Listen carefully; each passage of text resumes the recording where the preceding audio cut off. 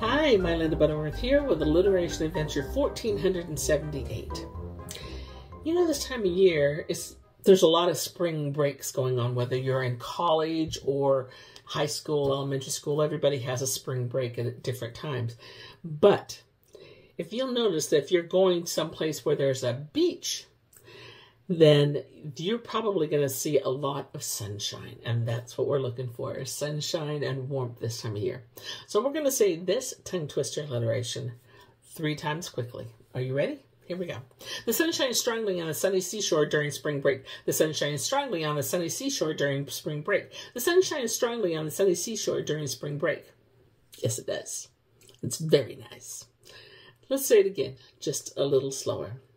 The sun shines strongly on the sunny seashore during spring break. Well, there you go. I hope you enjoyed it. We'll see you again soon. Bye for now.